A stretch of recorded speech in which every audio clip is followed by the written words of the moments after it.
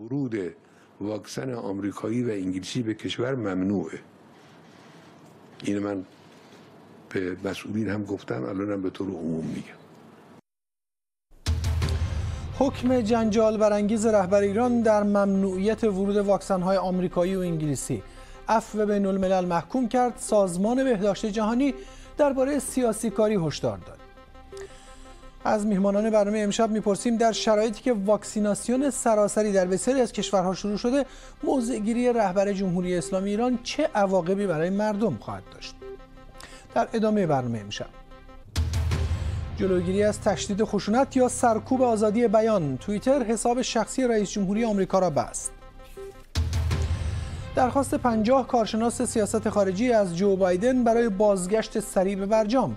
نماینده ایران در سازمان ملل می‌گوید سیاست خارجی آمریکا تغییر نخواهد کرد.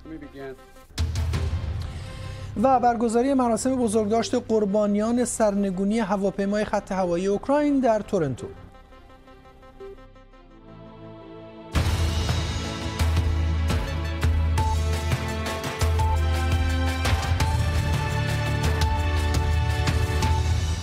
شصت دقیقه. زنده از بی بی سی در لندن. کهنسال‌ترین رهبران جهان از ملکه بریتانیا و همسرش پرنس فیلیپ گرفته تا ملک سلمان پادشاه عربستان واکسن کرونا زدند.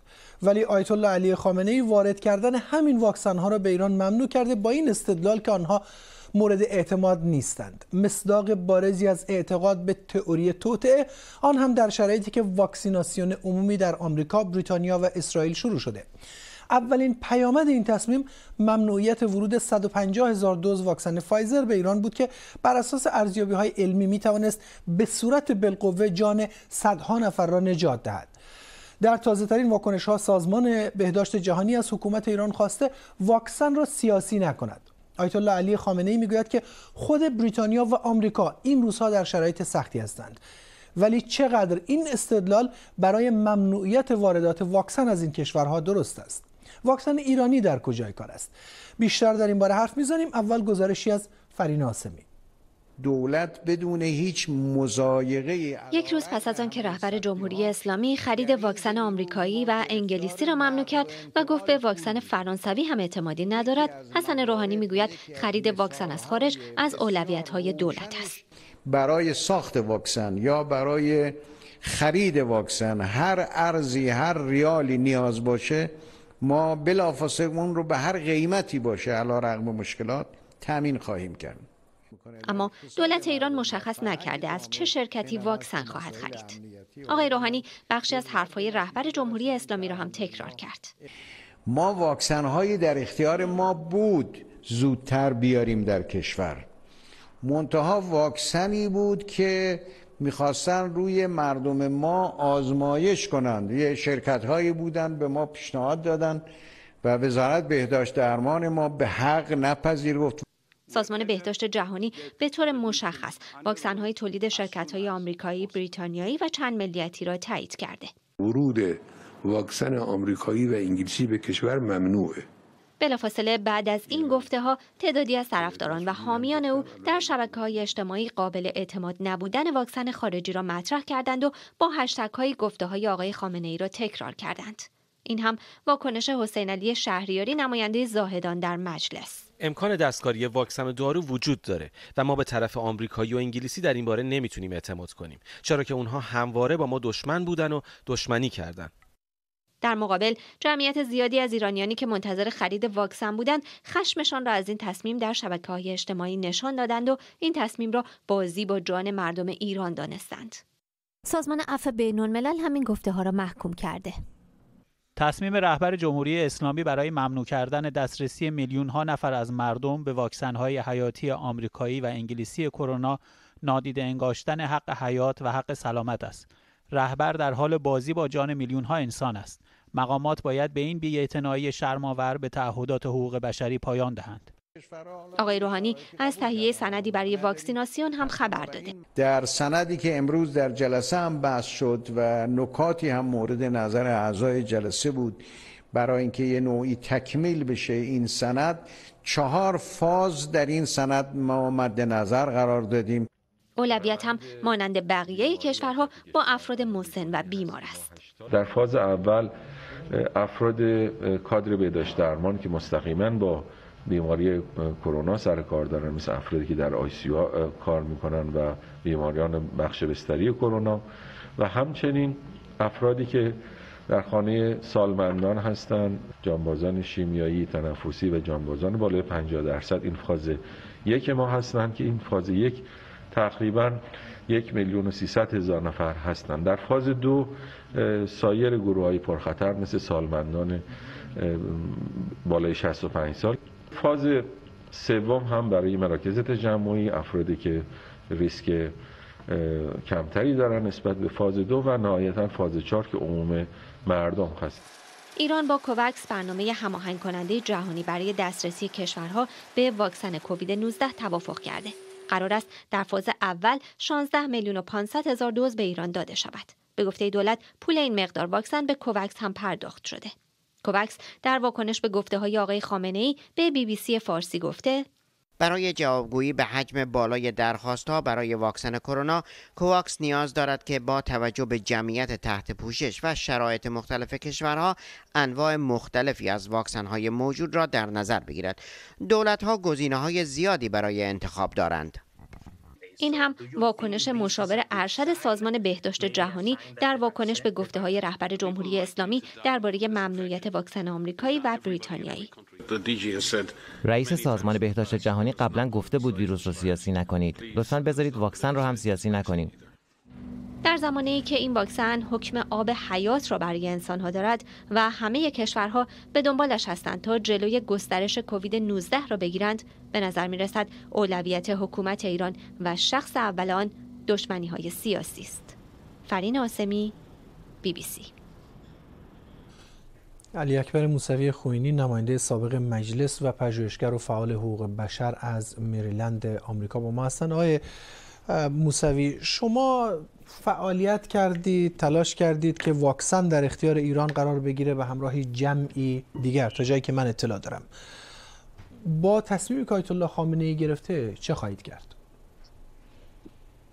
سلام علیکم خدمت شما و بینندگان عزیز. من فکر کنم اون فعالیتی که صورت گرفت چه در خارج کشور چه شهروندانی که در داخل کشور هستند و متخصصین در حوزه پزشکی که در واقع با کار اونها با نظر اونها این بحث شروع شد و درخواستشون.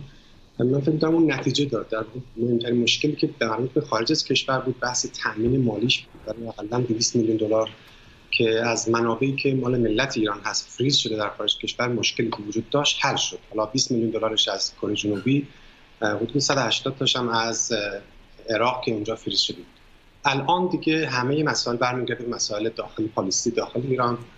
این چیزی که آقای خامنه ای در دو روز گذشته مطرح کردن واقعا همه رو شک کرده و من شخصا خودم هنوزم نمی‌تونم دقیق متوجه بشم که این حرف خود ایشون هست چون من احساس می‌کنم حتی از نظر چیز روانی و عادی هم این حرفها قابل پذیرش نیست. حتی کشورهایی که جوامع بسته دیگه ای که وجود دارن و به حال با این پدیده دارن مبارزه می‌کنن با مسئله کرونا اونها هم این حرف رو نزدن. در کشور مثلا ونزوئلا فایزر و خیلی از اینها شروع کردن و دارن کارشون انجام میدن. در کشورهای دیگه هم همینطور. در ایران اون چیزی که در حال حاضر ملاک هست و من فکر می‌کنم این حرفای آقای خامنه‌ای واقعا نمیشه جدیش گرفت که تا روشن بشه که منشأش از کجا بوده این حرف اینه که بزرگترین نهاد تخصصی پزشکی کشور رسما اعلام کرده. واکسن هایی که از نظر بهداشت جهانی استانداردهای اونها مورد تایید هست اینها بتونه باید وارد کشور بشه. دولت هم این رو مطرح کرده که این موضوع نباید سیاسی بشه. از اون طرف هم به موازات تو, تو, ایران متخصصین زیادی هستن همچنین در خارج کشور ایرانیایی هستن که در حوزه پزشکی دارن و از جمله بحث دانشمندایی که در حوزه واکسن دارن کار می‌کنن اعلام کردن که در واقع دارن تلاشایی صورت می‌کنه اون ممکنه ماها طول بکشه ولی نمیشه. همین الان بایستی واکسن مثل کشورهای دیگه شروع شده بود در داخل کشور هم به مردم و اون با اون اولویت بندی هایی که اعلام شده تزریق شدن. بنابراین باید از خارج کشور این اتفاق بیفته و باید هم از نظر استانداردهای بین المللی مورد تایید سازمان بهداشت جهانی باشه که فعلا این ستا ستا شرکت که با همکاران دیگه هستن مدرنا و همینطور فایزر که با مشترکن با بایوانتک آلمان این کار کردن و آکسفورد که شرکت روسی باشون هستن مورد تایید رسمی قرار گرفته داره انجام میشه و اینها باید بتونه وارد کشور بشه و مردم بتونن استفاده کنن. اینجا هم مردم حق انتخابات داشتن و آقای خامنه ای و هیچ کسی دیگه نمی‌تونه برای بدن مردم برای سلامت مردم تعیین تکلیف کنه. همونطور که ایشون برای جلوگیری از بحث ببخشید برای مسئله باردار شدن خانم ها و مسائلی که مطرح کردن اینها کار نکرد و درست نبود. اینجا هم این کار بایستی به شکل عادیش به شکل غیر سیاسی توسط متخصصین کار دنبال خب. بشه انشالله. آقای موسوی استدلال آیت الله خامنه اینه که اگر اینها واکسن داشتن وضعیت آمریکا و بریتانیا اونی نبود که الان هست. ما می‌دونیم که در بریتانیا مثلا بیشتر از هزار نفر در روزهای اخیر روزانه واکسن کرونا بیماری کرونا یا کووید 19 تلفات داشته. ببینید در دنیا از جمله در همین امریکا و خود انگلیس حتی به حال رهبرانی هستن که ممکنه مثل خود ایشون حالا به حال توهماتی داشتن از جمله آقای ترامپ یه سری حرفایی زدن. اما متخصصین و مردم اینجا اکثریت این کشور که تعیین کننده هستن تو این حوزه اجازه ندادن. نه با آقای ترامپ نه آقای جانسون در انگلیس. به حال بایستی اینها تلاش بکنن جان مردم رو و به اصطلاح حفظ می‌کنن تا حدی که می‌تونن دانش و علم امروزی تا حدی که اجازه میده باید اینها بتونه برای مردم به اصطلاح به اجرا در بیاد. آمریکا هم همینطوری شد و کسی در جامعه پزشکی NIH سازمان بهداشت ملی امریکا و در خود انگلیس هم کسی منتظر این بحثا نشد. دو تا رهبر در انگلیس امریکا هم خودشون در واقع درگیر این کرونا شدن. نشون داد که بایستی تو این زمینه یک کار ملی صورت بگیره. واکسن هایی که الان اومده فعلا اینطوری. حتی انگلیسی که ساخته شده توسط آکسفورد یک شرکت همکار به اصطلاح روسی داره که این مورد تایید شده قرار گرفته و داره استفاده میشه در دنیا. من تعجب می‌کنم آقای خامنه‌ای حتی اینها رو هم چیز من واقعیتش حتی از اون طرف یه مقدار شک هم دارم حتی این حرفا درست هم باشه یعنی دروغ نباشه. چون عمل ما دیدیم حتی نه برای واکسن برای چیزای دیگه هم خود نزدیکان آقای خامنه‌ای رهبر بله.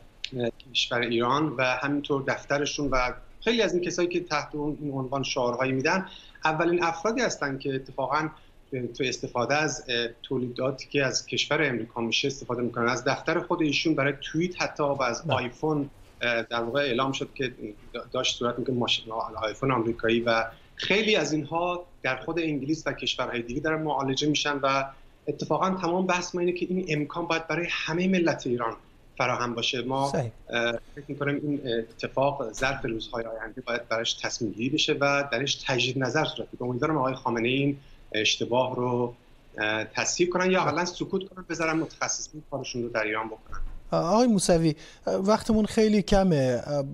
اشاره کردید که 180 میلیون دلار از منابع مالی ایران در عراق و 200 میلیون در کره جنوبی تخصیص پیدا کرده به این امر.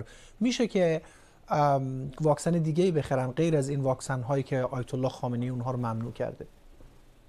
البته این سوال رو من فکر می‌کنم متخصصین و کسایی که در سازمان بهداشت جهانی هستن لابد به شما پاسخ باید بدن و داده باشن. اون حدی که من از متخصصین شنیدم حتی واکسن چینی اون مرحله فاز سوم اطلاعات فاز سومش رو نهایی در واقع اعلام نکرده که طبیعتا بهداشت جهانی منتظر بوده. حتی به نماینده سازمان بهداشت جهانی اجازه یعنی ویزای ورود نداد و اینو دیگه خبرها شما خودتون هم اعلام کردیم در واقع کشورهایی که یعنی شرکت هایی که به صورت علنی الان در اومدن اعلام کردن اون به اصطلاح clinical trial شون یا این مراحل آزمایشاتشون رو مشخص هست و این سه مجموعه مهم یکیشون که فایزر باشه اتفاقا در همین یک دو ماه اخیر در ایران جایزه مصطفی بهش تعلق گرفته. پروفسور شاهین که اهل ترکیه هست و جزو در واقع دانشمند بوده که با BioNTech آلمان با فایزر همکاری کرد و برای اصطلاح ساختن این واکسن در ایران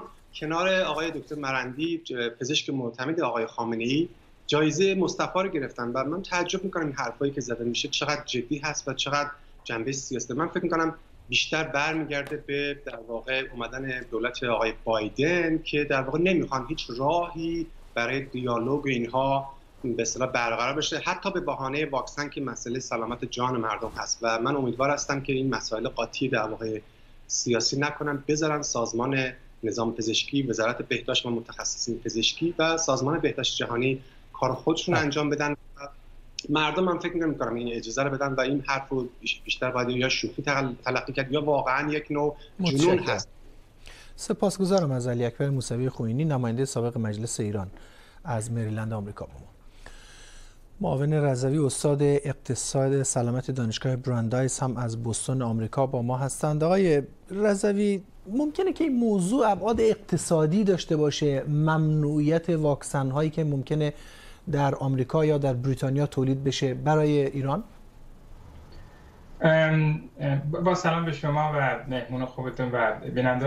قبل از اینکه راجع به مسائل اقتصادی صحبت کنیم اجازه بدید من دیدگاه نظام های سلامت رو در سطح بین نسبت به فتواهای مذهبی یکم روشن کنم. بعد ببینم که چرا ما به این بنبست رسیدیم.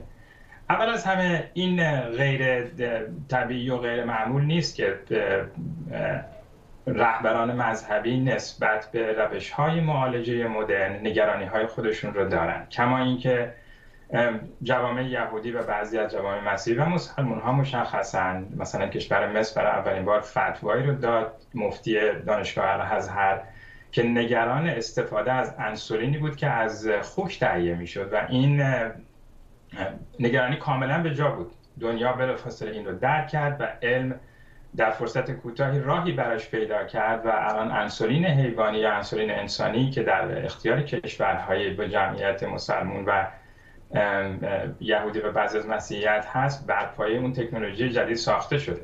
بنابراین رهبران مذهبی گاهی اوقات نگرانی های به جای شرعی دارن که نسبت به بعضی از روش های معالجه نگران باشن.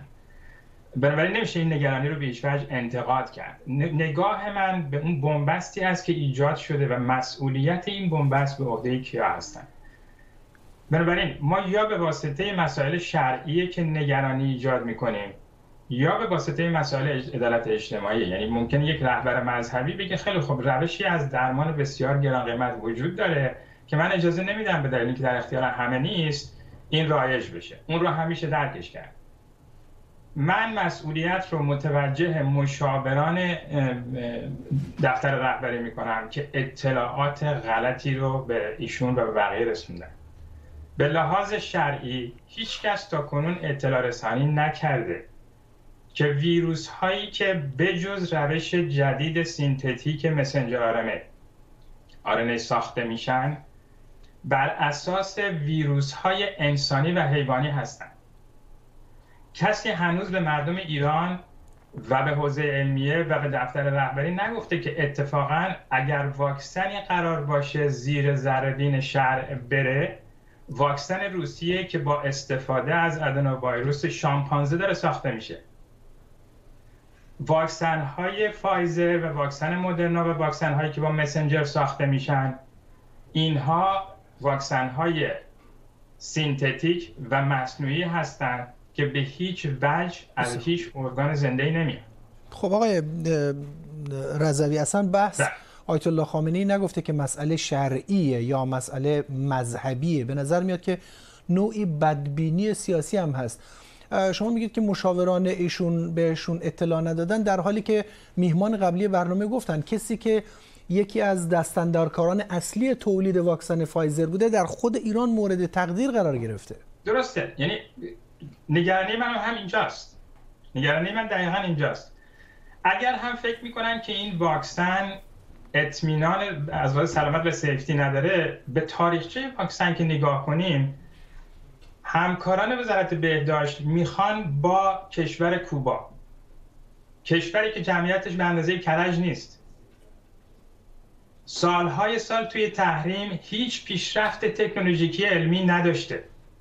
و به واسطه نداشتن جمعیت برای آزمایش فاز دو و سه متوسل شده به بقیه کشورهایی که به کوبا اطمینان دارن. و در دنیا فکر نمی کنم بیشتر از پنج کشور به کوبا اطمینان داشته باشن.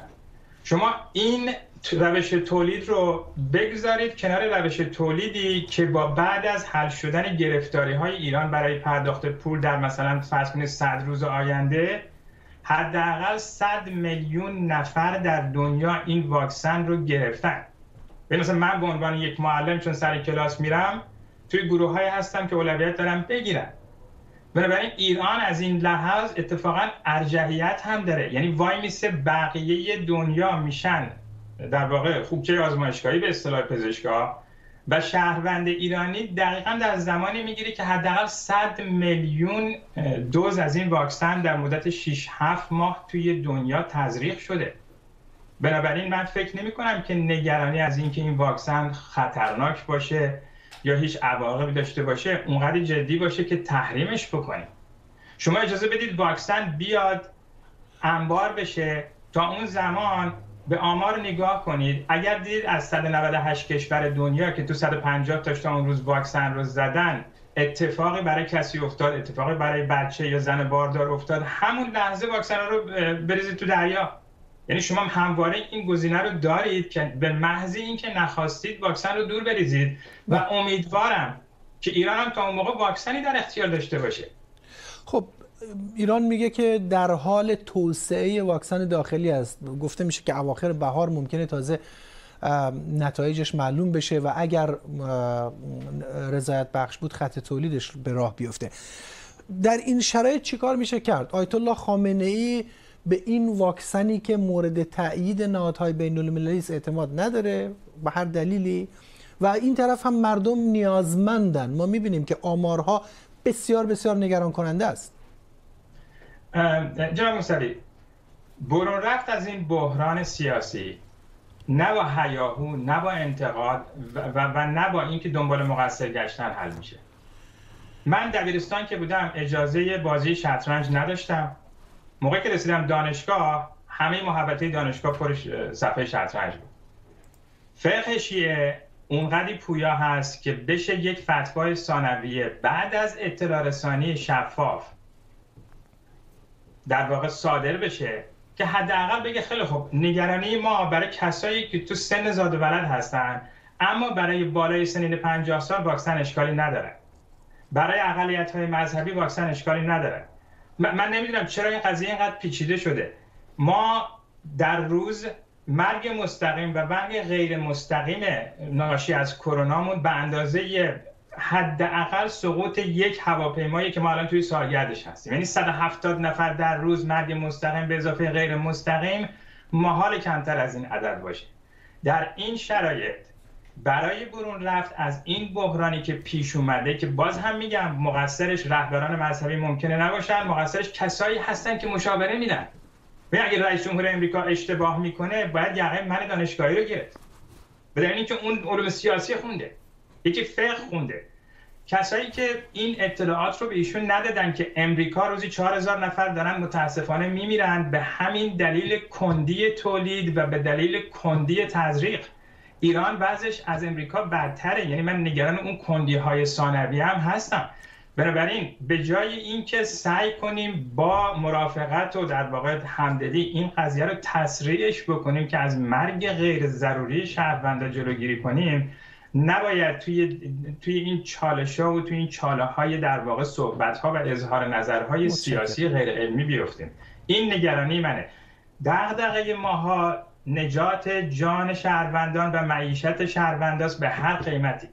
بله ما با کمال احترام به تمام نگرانی های مذهبی همه دنیا و همه مذاهب گوش می‌کنیم. اما معمولا باید توی فضای تفاهم دنبال یک برون رفت گشت من فکر می‌کنم صدور یک سرفتوای ثانویه که حداقل فعلا قشر مسن جامعه رو که نگران مثلا باربری آیندهشون نیستن رو معاف کنن. بعد یک دانشگاهی رو استخدام کنن بگن تحقیقات انجام بدن. اگر اونها اوکی کردن به بقیه جمعیت هم برسونن. من نگرانیم اینه که این واکسن تحریم بشه با قاچاق وارد ایران بشه و دقیقا همه آدمای با نفوذ و به اصطلاح ژنهای خوب. واکسن فایزر رو دریافت کنند و شهروند عادی در واقع در خطر بمونه تا یک سال آینده. من فکر نمی کنم که این مسئله باید تبدیل به جنجال سیاسی بشه. این مسئله حل میشه راه حل داره کمایی که شطرنج حل شد بسیار ممنونم از معاون رضوی استاد اقتصاد سلامت دانشگاه براندایس از بوستون آمریکا. دونالد ترامپ رئیس جمهوری آمریکا بسته شدن دائمی حساب کاربریش در توییتر را نفی آزادی بیان و تلاش برای خاموش کردن صدای خود و حامیانش خواند. توییتر دیروز حساب کاربری آقای ترامپ را برای آنچه جلوگیری از تشویق بیشتر به خشونت از طرف او خوانده مسدود کرد. چند شبکه اجتماعی دیگر هم دسترسی رئیس جمهوری آمریکا را محدود یا قطع کردند. سه روز پیش در جریان یورش هواداران آقای ترامپ به ساختمان کنگره پنج نفر کشته شدند. هادی نیلی گزارش می‌دهد. به هم ریختگی ها جمع می شود. خرابی ها تعمیر می شود. ولی لکه ای که این ماجرا بر تاریخ آمریکا گذاشت ماندگار است. آشوبگران حامی دونالد ترامپ که از حرفهای او خط گرفتند اثر خودشان را باقی گذاشتند. در اقدامی که حالا برخی آن را یک شورش ناکام می‌خوانند. دو روز بعد توییتر حساب شخصی دونالد ترامپ را بسته و توییت هایی که از حساب رسمی رئیس جمهوری منتشر کرده را هم از دسترس خارج کرده.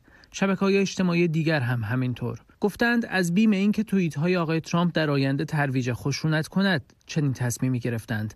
رئیس جمهوری که همچنان به قدرتمندترین نیروی نظامی جهان فرمان می‌دهد حالا از شبکه های اجتماعی محروم شده. همزمان مخالفانش در کنگره برای استیزاه او خیز برمیدارند. این بار دوم می شود. کمتر از 11 روز تا پایان ریاست جمهوریش باقی مانده. متاسفانه کسی که مسئول قوه اجرایی است فردی است دیوانه بی و خطرناک و رئیس جمهوری آمریکا همه اینها از پیامدهای حمله روز چهارشنبه به کنگره است ماجرای بی سابقه ای که با سخنرانی دونالد ترامپ آغاز شد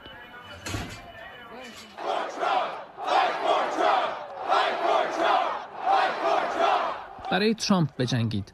شعار هزاران حامی رئیس جمهور که به دعوت او خودشان را از سراسر کشور به پای تخت رساندند. خشونت هم بشه شده ولی ما شروع نمی کنیم. اومدیم از خودمون دفاع کنیم. رئیس جمهور با تکرار ادعایش که انتخابات دزدیده شده از جمعیت خواست به سوی کنگره راه بیفتد. میریم طرف کنگره چون هیچ وقت نمیشه با ضعف کشورمون رو پس بگیریم. باید قدرت نشون بدید و قوی باشید. این 20 دقیقه بعد از پایان نطقش جلوی کنگره گاز اشکاور در دست تظاهرات کنندگان و در چشم نیروهای محافظ. جمعیتی که به ساختمان کنگره رسید احتمالا خودشان هم فکر نمی کردند به این آسانی به توان قلب دموکراسی آمریکا را به تصرف درآورد. صف حفاظت از کنگره جلوی آنها دوام نیاورد. ماموران قدم به قدم جلویشان عقب نشستند. صحنه هایی که آمریکایی ها معمولا در اخباری از کشورهای دیگر با حکومت های متزلزل می دیدند. اما این بار در پایتخت آمریکا فانوس دموکراسی ظرف چند دقیقه جمعیت به داخل کنگره سرازیر شد. در صحن مجلس ماموران لباس شخصی با اسلحه کشیدن توانستند جلوی ورود شورشگران را بگیرند. اشلی ببیت یکی از این جمعیت بود که در این جریان کشته شد. یک نیروی سابق ارتش که به افغانستان و عراق هم اعزام شده بود. قربانی تنها تیری که در راهرو کنگره شلیک شد.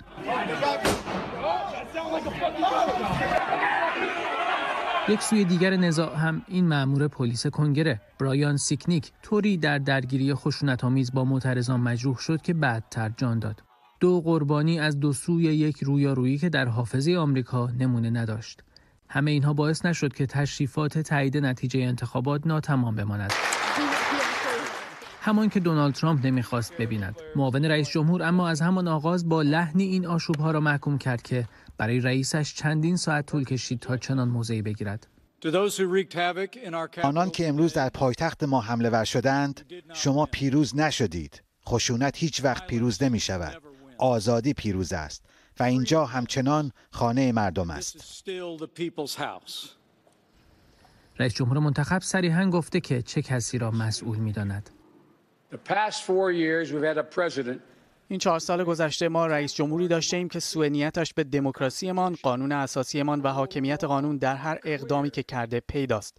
و از ابتدا حمله تمام عیار به نهادهای دموکراسی ما ترتیب داد و دیروز اوج این حمله بیامان بود.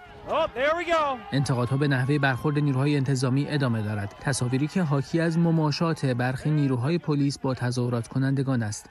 این جمعیت عمدتا سفید پوست با نرمخویی پلیس مواجه شد تصویری که برای خیلی از ناظران برعکس چیزی است که از رویارویی های چند ماه پیش به یاد دارند. وقتی که در پی کشته شدن جورج فلوید زیر زانوی پلیس تظاهرات در شهرهای مختلف به راه افتاد و خشونت پلیس و نیروهای انتظامی دیگر بارها ثبت شد.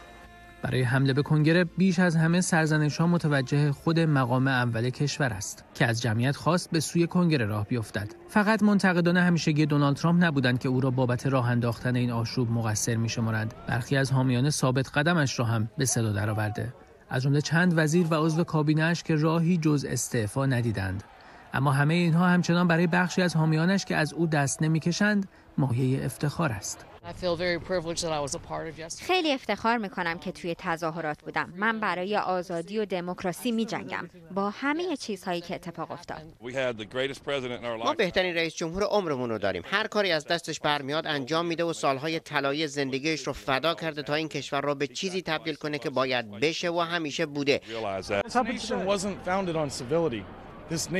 این کشور رو مدنیت بنیان گذاشته نشده با اقدام انقلابی بنیان گذاشته شده. ما وقتی متمدن شدیم که حکومت فهمید که مهار شده. حالا منتظر میمونیم ببینیم چقدر جدیمون می‌گیرن. چون دیدن که چه آسون از خط دفاع اونها عبور کردیم. با وجود همه آنچه که جهان شاهدش بوده اما خیلی از کسانی که به کنگره آمریکا حمله کردند و همدلان آنها می‌گویند طرف مقابلشان است که تلاش می‌کند قدرت را قبضه کند و دموکراسی را براندازد. بینشان چندان نشانی از شرمساری نیست بلکه بیشتر غرور و افتخار به آنچه از دستشان برآمد. از دید آنها این تازه آغاز یک جنبش است نه پایانش. من خیلی جدی فکر می کنم این مثل سال انقلاب برای ما دو حالت داره یا یک انقلاب دیگه میشه یا جنگ داخلی دونالد ترامپ چهار سال پیش روی پله های جلوی کنگره وعده داد که با ریاست جمهوریش ویرانی و جراحت آمریکا پایان می‌گیرد. حالا در آخرین روزهای زمامداری او پایتخت آمریکا در چنین شکلی آماده دولت بعدی می شود. هادی نیلی بی بی سی واشنگتن. گفتگوی داریم با دو میهمان سیمین کارگر پژوهشگر امور بین الملل در دانشگاه جان هاپکینز و پژوهشگر شورای اتلانتیک از واشنگتن دی سی با ما و همینطور سیامک آرام استاد دانشگاه علوم داده دانشگاه هریسبرگ از واشنگتن. سال اول از آقای آرام می‌پرسم. آقای آرام از نظر شما اینکه توییتر حساب آقای ترامپ رو بسته کار خوبی بوده؟ اقدام قابل دفاعی بوده یا نه؟ سلام می‌کنم به مهمان شما شما و بینندگان این برنامه. واقعیت جواب بله و نه ساده ای نداره. من نظرم مخالف هست اما اینکه چجوری به این بحث فرود بکنیم خودش مهم هستش. به حال ما می‌دونیم که در واقع تمام این بحث آزادی بیان نگرانی ها و دقدقه های درستی در طول تاریخ بوده. برای اینکه دولت ها و حکومت ها این امکان رو نداشته باشن که آزادی بیان رو محدود بکنن. اما در رابطه با شرکت های خصوصی کمپانی ها و نهادهای اقتصادی موضوع فرق می‌کنه. اونا می‌تونن قوانین خودشون داشته باشن کمان که الان در مورد اخیر توییتر اینستاگرام فیسبوک یوتیوب تمام اینا که اکانت های رو در واقع پروفایل های رو محدود کردن یا بستن از قوانین در واقع بخش خصوصی یعنی قوانین و ضوابط داخلی خودشون استفاده کردن این کار انجام دادن. اما در عین حال که ما باید نگران باشیم که دولت ها و حکومت ها نتونن آزادی بیان رو محدود بکنن در این حال هم باید امروز نگران باشیم که شرکت های خصوصی و به خصوص در عرصه فضای مجازی در دنیای فضای مجازی این امکان رو نداشته باشن که صداها رو در واقع متوقف بکنن خانم کارگر شما چی فکر می‌کنید؟ با سلام به شما و مهمون و بینندگانتون من فکر کنم که اقدام توییتر رو فقط توی این مورد خاص نباید دید. اقدام توییتر بخشی از پروسه در واقع مدیریت محتواشون بوده که از سالها پیش شروع شده سیاست های خاص خودش رو توییتر درباره ترویج خشونت یا برهم زدن نظم عمومی و غیره داشته.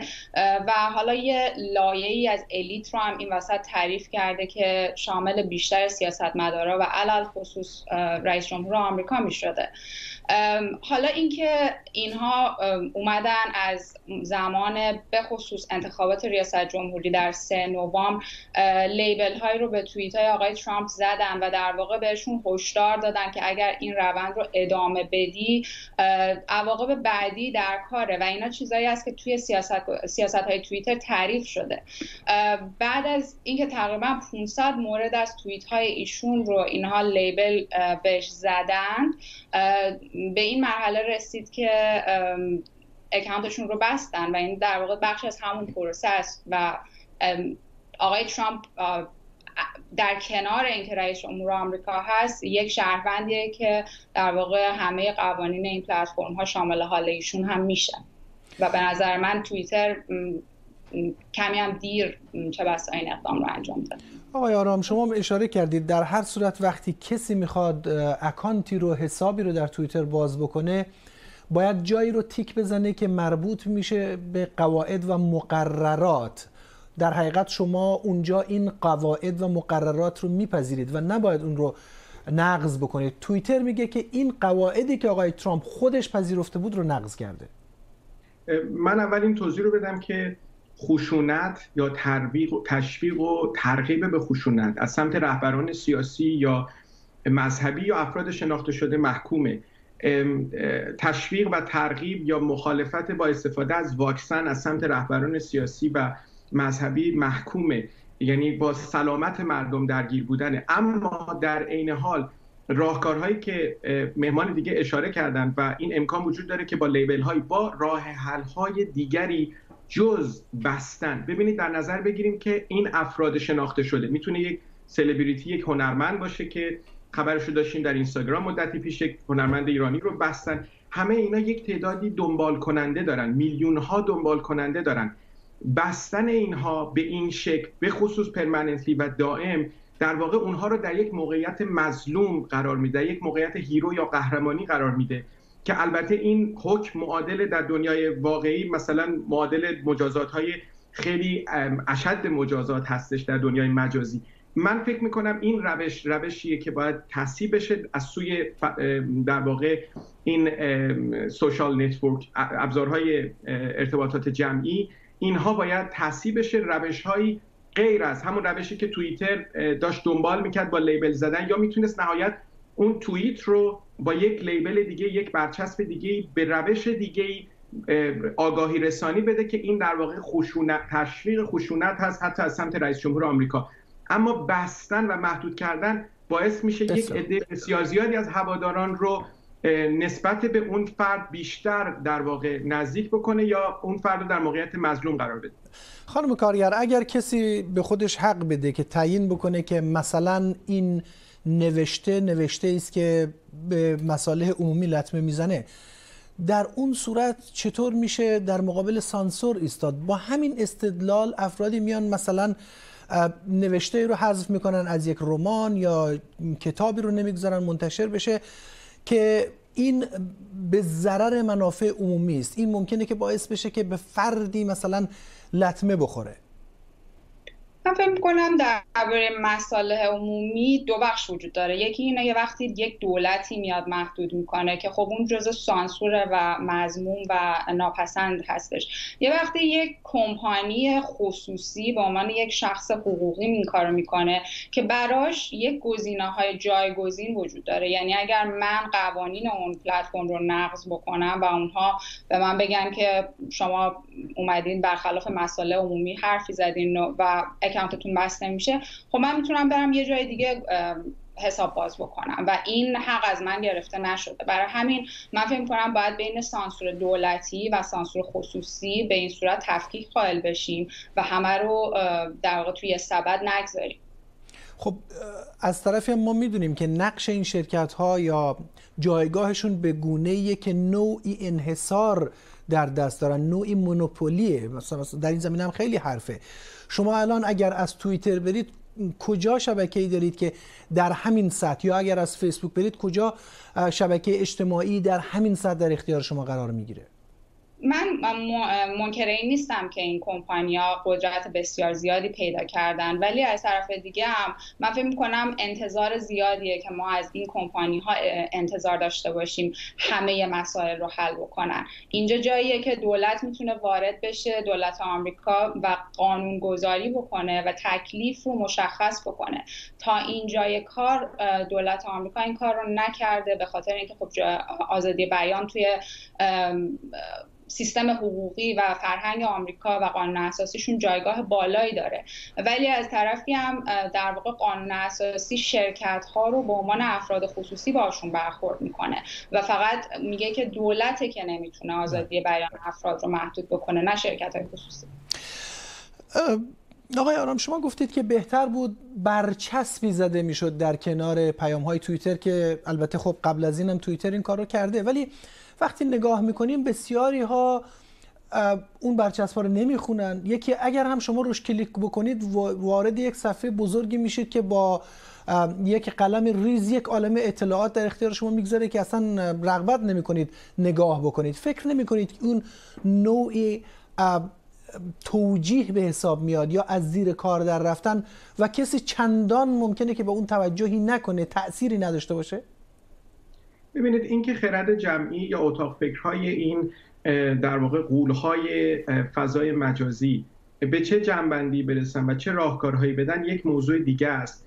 اینکه راهکار با بستن به خصوص به صورت دائم این تعداد دنبال کننده میلیونی بسیار زیاد رو می‌تونه به یک سمت سوهای دیگه ببره و فرد محدود شده رو یا گروه های محدود شده رو در زمره فضای مظلوم نمایی قرار بده به خصوص اینکه این رهبران در کشورهای خودشون تریبون دارن رسانه دارن.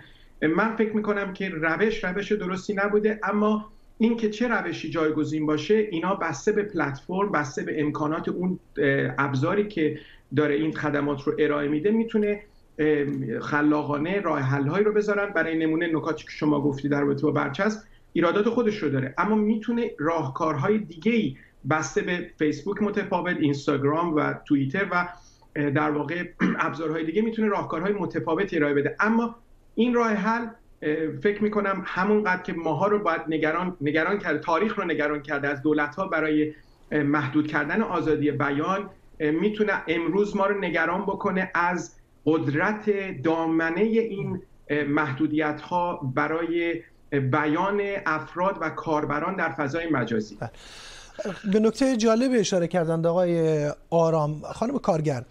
اگر یک شرکت اونقدر قدرت داشته باشه که دهان رئیس جمهور آمریکا رو ببنده واقعا یک شهروند عادی یک فردی که ممکنه خیلی دستاویزی نداشته باشه او نباید احساس ترس بکنه از اینکه صداش یک روزی خاموش بشه؟ این نگرانی وجود داره ولی اگر به عمل کرده کمپانیا نگاه بکنیم از اون برای قضیه هم هست. اینکه کمپانیا در ساکت کردن ترول های اینترنتی خیلی جا کمکاری کردن و به خاطر اینکه منابع محدودی دارن خیلی وقتا تصمیم هایی رو که باید می‌گرفتن نگرفتن و اجازه دادن آزار و اذیت ترویج خشونت از سوی افراد حقیقی و عادی ادامه دار بشه. ولی ما چیزی که در مورد دانالد ترامپ داریم می‌بینیم در واقع یک حساسیت اضافی هست.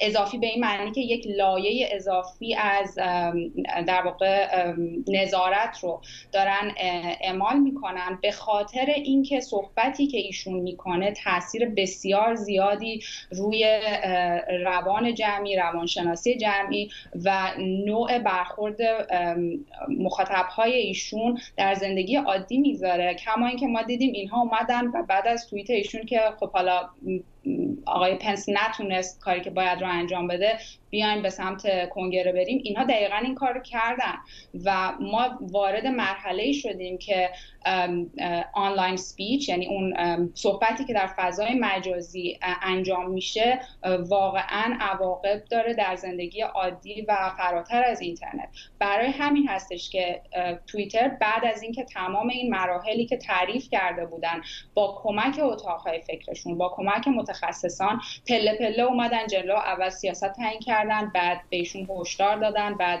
لیبل زدن روی توییتاشون و در مرحله آخر آخر بود که اکانت ایشون رو بستن برای همیشه.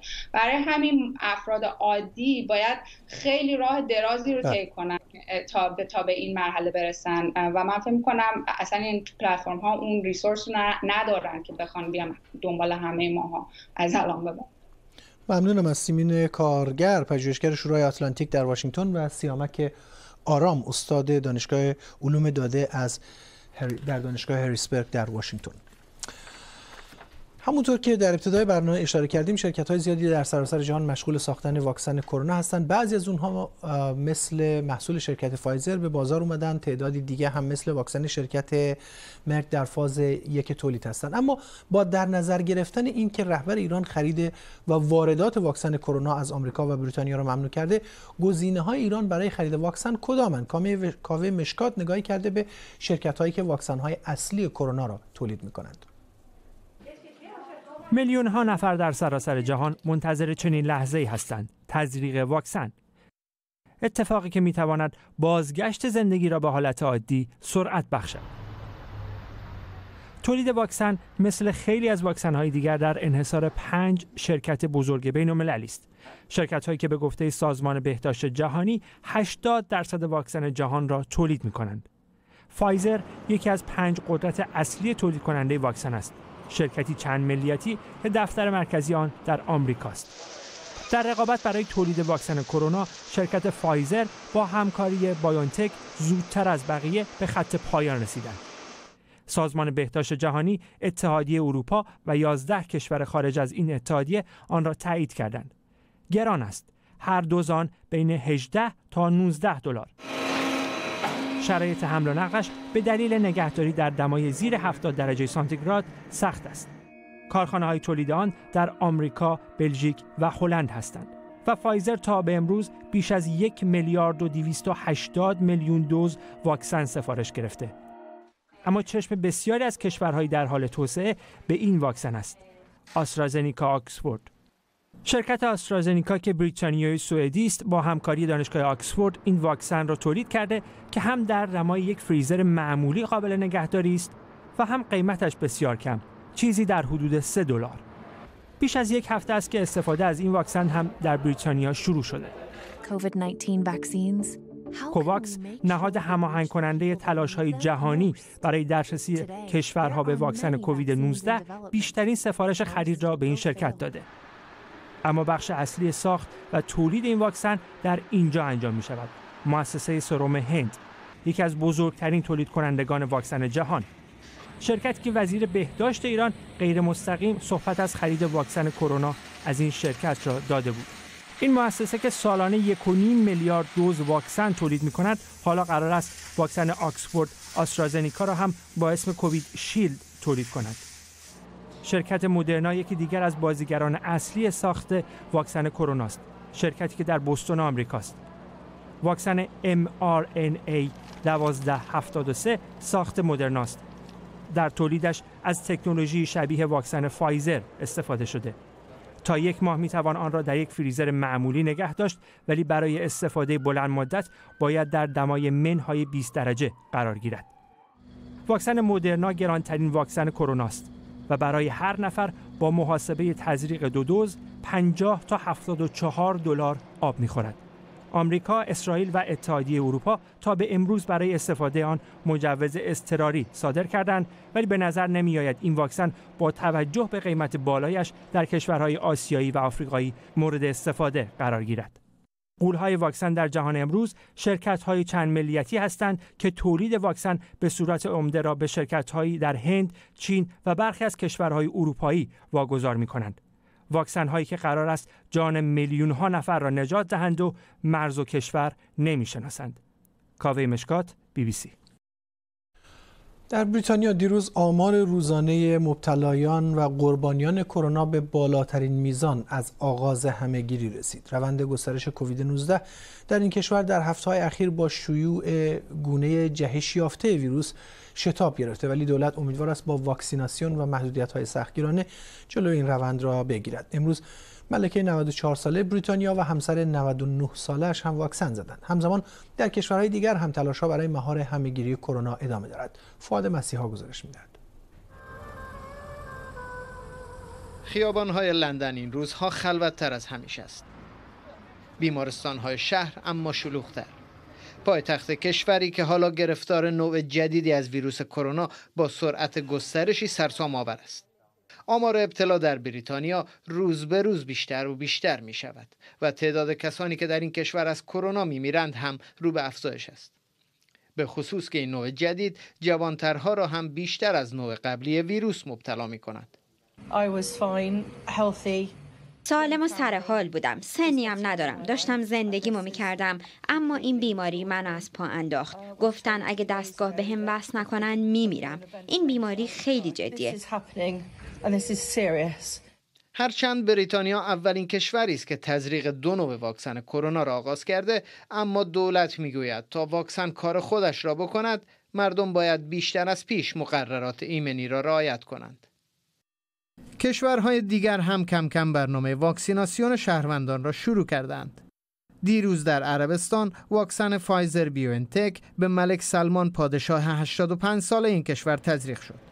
واکسنی که در آمریکا تولید شده و البته این روزها در تنور داغ کشمکش های سیاسی آمریکا از سوژه های اصلی است. جو بایدن رئیس جمهوری منتخب که قرار است تا ده روز دیگر اداره کشوری با بالاترین آمار ابتلا و مرگ در اثر کرونا را به دست بگیرد از برنامه واکسیناسیون دولت فعلی انتقاد کرده و آن را مزهک خوانده. آقای بایدن گفته مقابله با کرونا از اولویت های اصلی او خواهد بود. من فعالیتم را روی کرونا، واکسن و رشد اقتصادی متمرکز می کنم. اینکه کنگره چه کار می‌کنه تصمیم خودشونه. در سوی دیگر جهان چین هم تزریق واکسن را شروع کرده کشوری که نقطه آغاز همهگیری در جهان بود هرچند حالا وضعیتش بر اساس آمار دولتی از خیلی از دیگر کشورها بهتر است اما مقامات محلی دیشب مجبور شدند به ساکنان شهر ده میلیون نفری شیجیا جوانگ بگویند برای یک هفته در خانه بمانند تا جلوی روند رو به افزایش ابتلا گرفته شود. مردن یا نمردن این تنها مسئله در دوران همهگیری نیست. نتایج تحقیقاتی که در شهر ووهان چین انجام شده نشان می دهد که بیشتر از سه چهارم مبتلایان به کرونا تا ماها پس از مرخص شدن از بیمارستان نشانه هایی از بیماری را با خود دارند. از خستگی مفرط و درد بدن گرفته تا مشکلات تنفسی و اختلال خواب و افسردگی. اگر از این زاویه به ماجرا نگاه کنیم دیدن این خیابانهای خلوت و شنیدن این ساز تنها دلتنگی کمتری خواهد داشت فواد مسیحا بی بی سی دیشب در اولین سالگرد سرنگونی هواپیمای اوکراین با موشک‌های سپاه پاسداران مراسم گرامی داشت قربانیان این حادثه در تورنتو کانادا برگزار شد. در این مراسم خانواده ها و نزدیکان 176 قربانی این پرواز با در دست داشتن عکس های عزیزانشان در یک راهپیمایی سکوت شرکت کردند. یک ویدیوی دیجیتال از گروه شبکه های اجتماعی بی بی سی فارسی رو با هم می‌بینیم.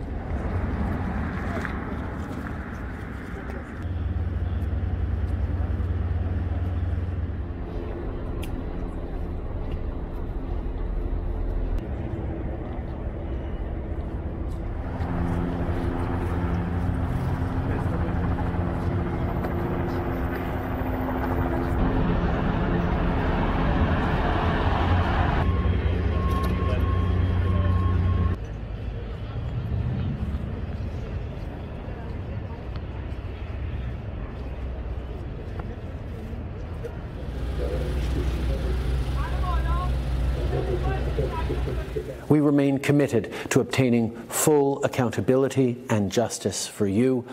We will not rest until we get all the answers and the actions that you need and deserve. Canada will not stand for anything less than a comprehensive and honest explanation from the Iranian government of what exactly happened.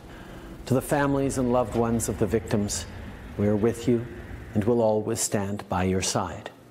We are keeping you in our thoughts and in our hearts during these difficult times. We will continue to support you in the wake of this tragedy, and we will always remember the people you loved. رویشان شاد مرسی